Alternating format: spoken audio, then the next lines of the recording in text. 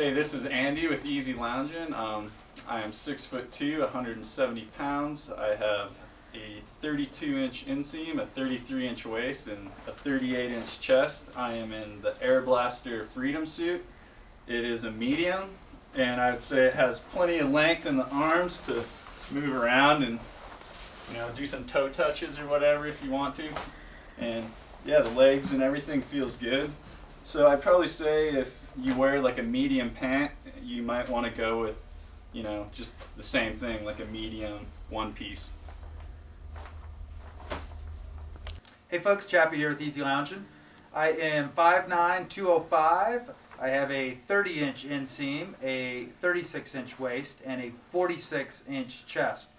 Um, I am in the Airblaster Freedom suit. Yeah.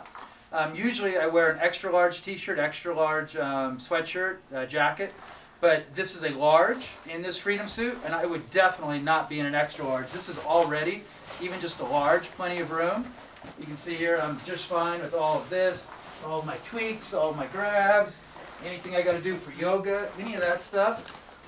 I feel really, really good, and I would definitely be in the large.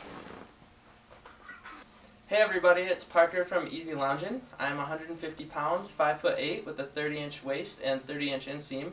And today I have on the Airblaster Freedom one piece suit. It's a pretty vibrant, amazing piece of outerwear. I'm wearing it in a size small.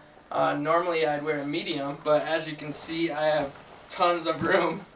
And um, yeah, I, total mobility.